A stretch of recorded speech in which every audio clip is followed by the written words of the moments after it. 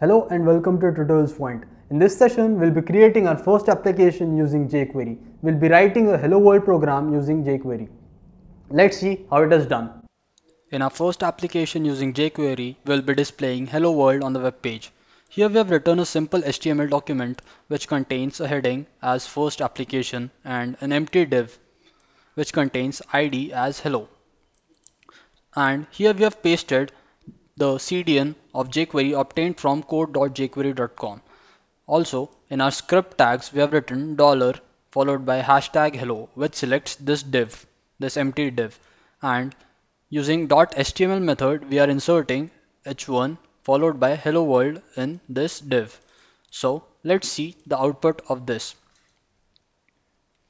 So in output, we can see hello world successfully displayed on our web page. So in this way, we have completed our first application using jQuery. Thank you.